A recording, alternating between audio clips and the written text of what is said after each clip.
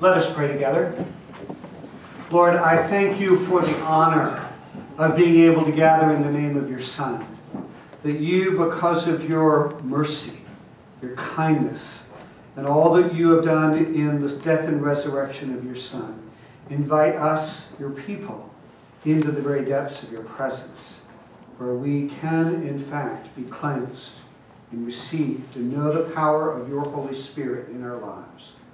Help us, O oh God, by your grace, to make room for you, that we might be commissioned, healed, and refreshed.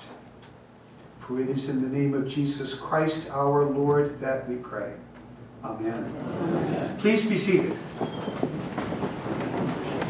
As I said at the beginning of the service, we've got a lot going on. Baptisms, confirmations, receptions, reaffirmations, the commissioning of new people in ministry. And it's not just a service that involves the people for whom this is happening. It also involves all of us. Because in fact, this is a commitment Sunday in the sense that you also, Christians who are here, are also renewing your own commitments to Christ. That's the nature of what happens whenever one makes that commitment, all of us step into. It's never just somebody up there and we're kind of, well, let's see how this works out. But instead what's happening is that we all step up shoulder to shoulder, figuratively, even though we're all over the room, and say, we will. We're in this together. And therefore, what I want to do in a very brief fashion, because of all of what we've got going on, talk about the nature of commitment, especially as it relates to Advent, second Sunday of Advent, John the Baptist what all that looks like. Because they, in fact, deeply connect. And because you see, the liturgical seasons, including as Advent, are meant to shine a very clear and light on a particular part of what it means to be a follower of Jesus. It's so rich and it's so vast that none of us can take it all in at once. And so as we walk through the liturgical seasons, they're meant to cause us to stop and look at some piece of what it means to belong to Jesus Christ and what it means to be a Christian and to be his follower. So what we're asked to look at today is a person, a figure, John the Baptist. Because you see, if you look at the beginning of the Gospel of Mark, why don't you turn, get me, get your leaflet out, where we have the readings. Oh, I left it.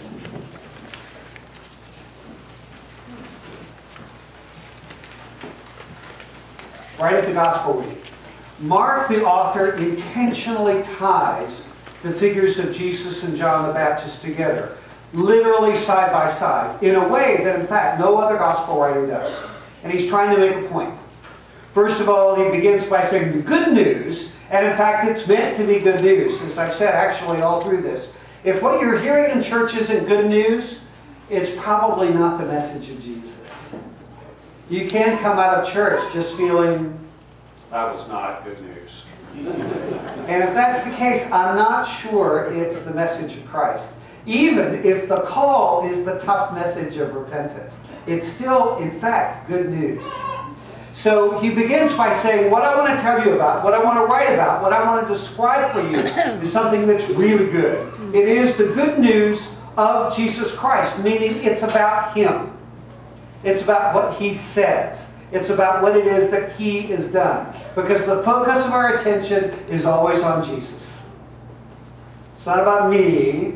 It's not about your rector. It's actually not about all these people who are making these commitments. The focus which is even architectural, what we're trying to do here. Bang! What's the highlight? It's the cross of Christ. It is his death and resurrection.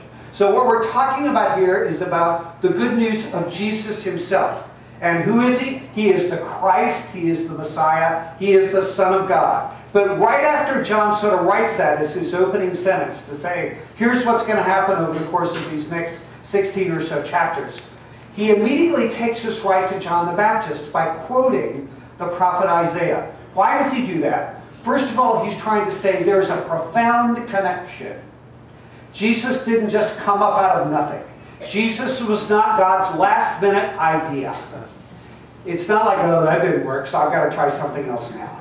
No, no, no. From the very beginning, God intended at the appointed time, the scripture says, to send his son Jesus Christ.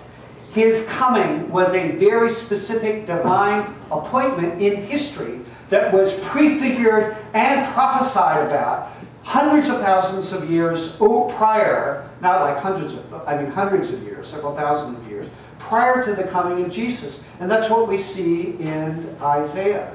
In other words, what God was doing in what we call the Old Testament was setting the stage for the coming of Jesus Christ. So, and that's important because there's some people, if you read the Bible, you get the impression that will tell you, well, there's sort of like one thing going on in the Old Testament, and then there's another thing going on in the New Testament, as if they're not related. And that's just not true. You can even get the impression from some people that it's almost as if we've got the Old Testament God and we got the New Testament God and they're different from each other.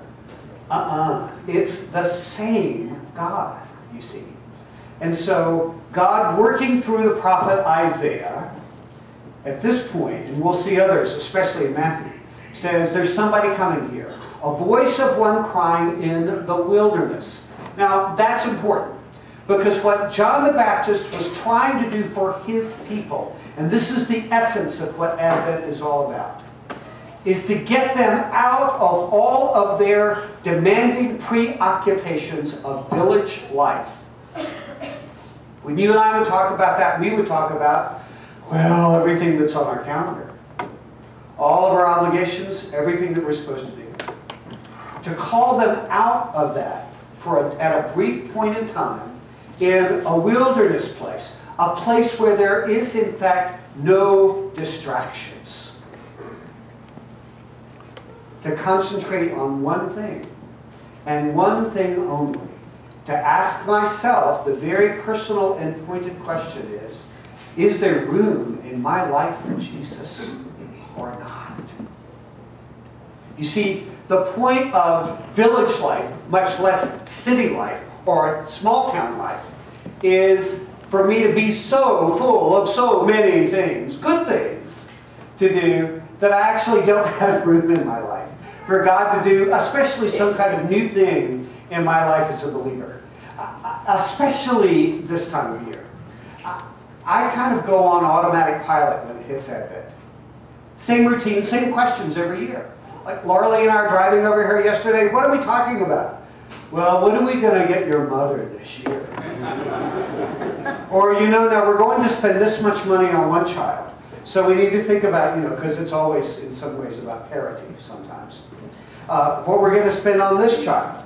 And is that going to work out? What are we going to do about it? I have no idea. And do you know that one person is not really happy about this person's going to be in the gift-giving thing? It, it, what do we, we got a staff party coming up in a couple of weeks, so what are we going to cook and how are we going to work that out? And what about Christmas cards? Should we use a photograph or not? We ask the same questions every single year. Don't you? You're sort of looking at me like, well, you're not a guy. the, my point is, is that while all of those things are appropriate to the season, and you need to know I like them. I love the gifts and the parties and all that, and the, the tremendous joy that is, in fact, the Christmas season. So I'm not trying to be Scrooge. But my point is, is that particularly in that time, when there are so many competing demands, and in the midst of that, the overlay of all of the holiday preparation, as the secular media would say, I'm actually invited and called in this season to do something very, very different. And that is to make, even if it's just interior space, to think carefully about what it means to be a follower of Christ. And am I making room in my life for Him or not? Because you see, what the Scripture says in a lot of different kinds of language is that while all of those things are not unimportant, they're not the heart of the matter. And in fact, a lot of those preoccupations and what they symbolize are in fact going to be, uh, just quote Peter, burned up in a great heat. In other words, something new is happening. A whole new heaven and a whole new earth is going to be birthed into this world at the second coming of Christ. And that is literally the most cataclysmic and important event in human history. So am I ready for that? And what does that look like? You see, a part of the image of John, he's out in the desert, which means he's saying there's something more important than all that you're spending your time on in terms of life in Jerusalem. But even the way he looks, the things that he says, and how he lives, it's meant to say it, it's a life whittled down to its very essence. So that for John the Baptist, even in the way he, to use our language, even in the way he spends his money on his clothes, is saying what matters is our relationship with God. And everything else is secondary to that. Now, I want to be real clear about the fact that what's being asked of me in making that kind of space in my life in the midst of the demands is not an easy thing to do. It takes intentionality. It's not just going to happen to you when you're on automatic pilot, finding room to go to the mall to buy the gift. For me, what it requires is, what I have to do, is that I have to get up earlier in the morning. Not without coffee, I confess. but I have to get up earlier to, to make that space. And, I, and even if I do make this space, I get easily distracted. I'm trying to pray and all of a sudden, bang, what pops into my head is something else that I'm supposed to do. I was talking to the forum about that before church. And what I have to do is literally have something beside me to write it down. Whether I do that literally with pen and paper or whether I make a notation on my phone calendar. I, I, so I don't go, because you can't, you see, continue to pray where this other thing is kind of needling at you and saying, you got to make sure you return that phone call or something. It's, it's like an octopus. It'll just come and wrap itself and pull it all away. So you have to say, ah, no, and you write it down, and then you go back. It's a training and a discipline process, in fact, to make room in your life to be open to the presence of God without all of the other distractions. And whether you do that through the context of reading the scripture, whether it has to do with a prayer list, whether it uses, means using one of the many Advent devotionals that are available. Advent is meant, in fact, to remind us of what is ultimately important. And to make sure that what's going on is that we're not losing our lives over lesser things. Because when you get into that place, you know what happens? You spend way too much money because that becomes more important than other things. You eat too much. You drink too much. You say things that you never ever intended to say, for which you regret. In other words, what that life looks like without this kind of um, discipline becomes a life that looks excessive. And all of us kind of do it because that's a part of what happens in the season. You see. And it is the anchor of saying, no, I'm actually, even in the midst of this season, doing something that is more important than that. Helps you see this season from actually a more godly perspective. I put this on Twitter yesterday.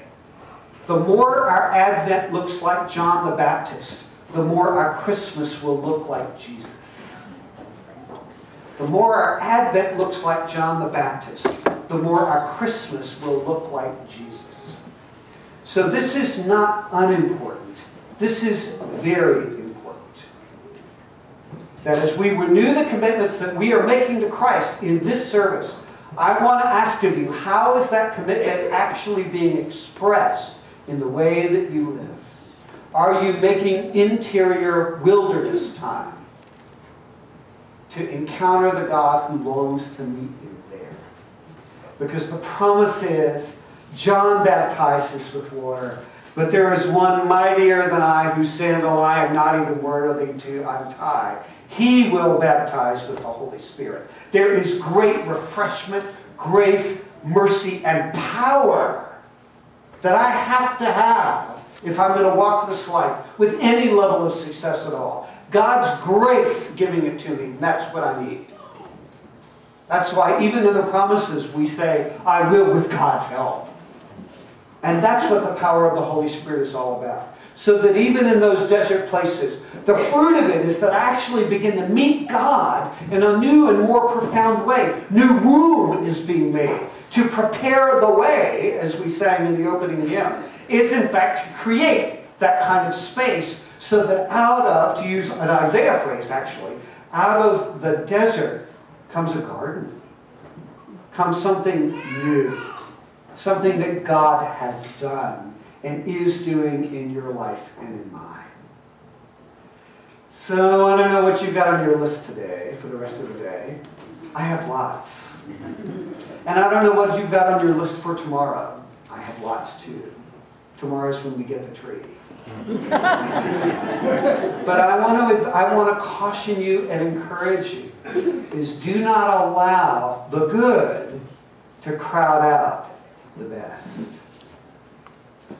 And that's being with God and making desert places in you to prepare the way for God to do something new in you because that's what we need. Let's pray together. Oh Lord, in this service, as we in many ways say yes to you, I pray that you would give us the grace to say yes to you in making room so that we have the capacity, God, to receive from you what it is that you long to give us. Pour out upon us, O Lord, the refreshing presence of your Holy Spirit that empowers, heals, restores, and guides. That as we are about the business of getting ready for Christmas, we are in fact making room in our hearts for your return. For it is in the name of Jesus Christ our Lord that we pray. Amen. Amen.